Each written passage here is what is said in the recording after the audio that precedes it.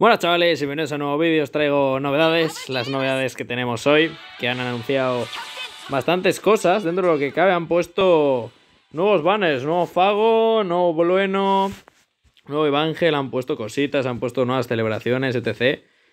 Cosas nuevas que las vamos a ver ahora en un momento. Entonces, notifications, notifications, bro, aparte de que se vienen, ya sabéis, el Bunake ese rojo, el Misaki azul y el otro Misaki, o sea, el otro Misaki. Y el otro Misugi azul también de, de... Lo diré. Latentes, ¿no? Que tendremos latentes, luego los miramos un momento. Tenemos el año nuevo chino, en el que nos han dado 50 Dreamballs y un billete de ruleta SSR para todos. Así, para comer caldo, sin más.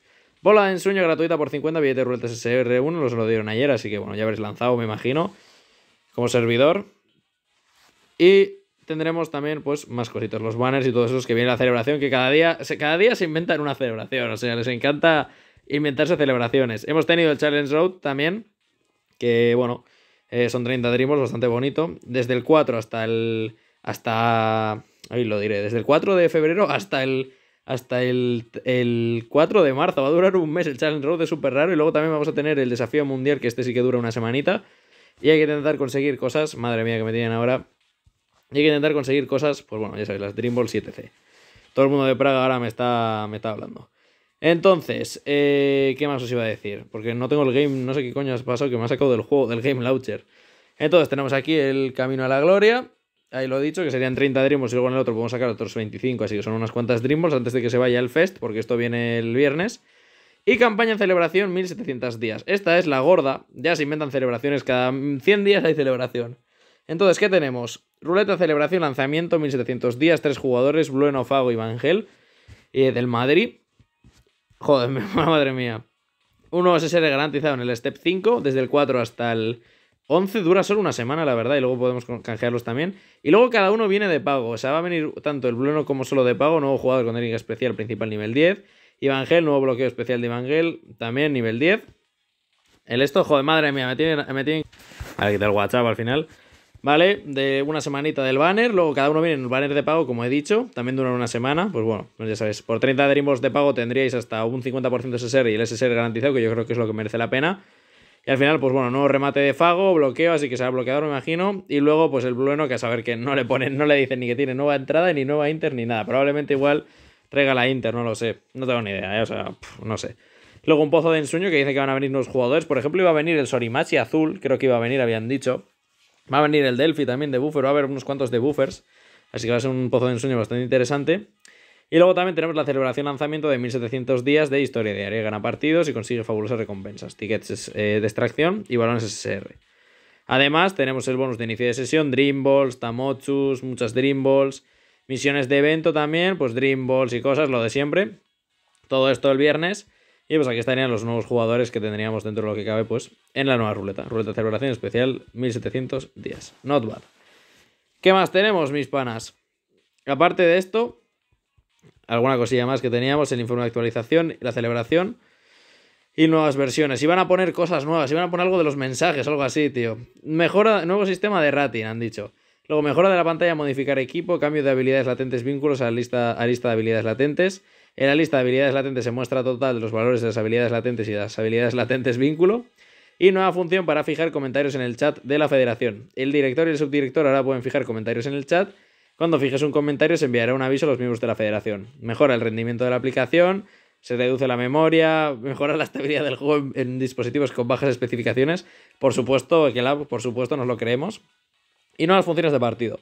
Aviso de comentarios de espectadores en partidos de línea, acceso al minimapa mientras el rival elige el comando en un duelo y función para activar desactivar los iconos de habilidades latentes que se muestran al lado de los jugadores durante las animaciones de los duelos.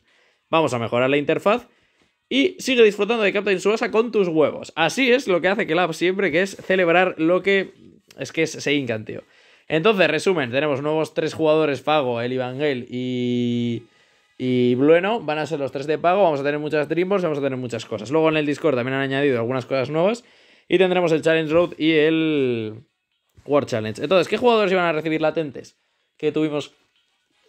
Nada, decir, el mes anterior, pues tendríamos.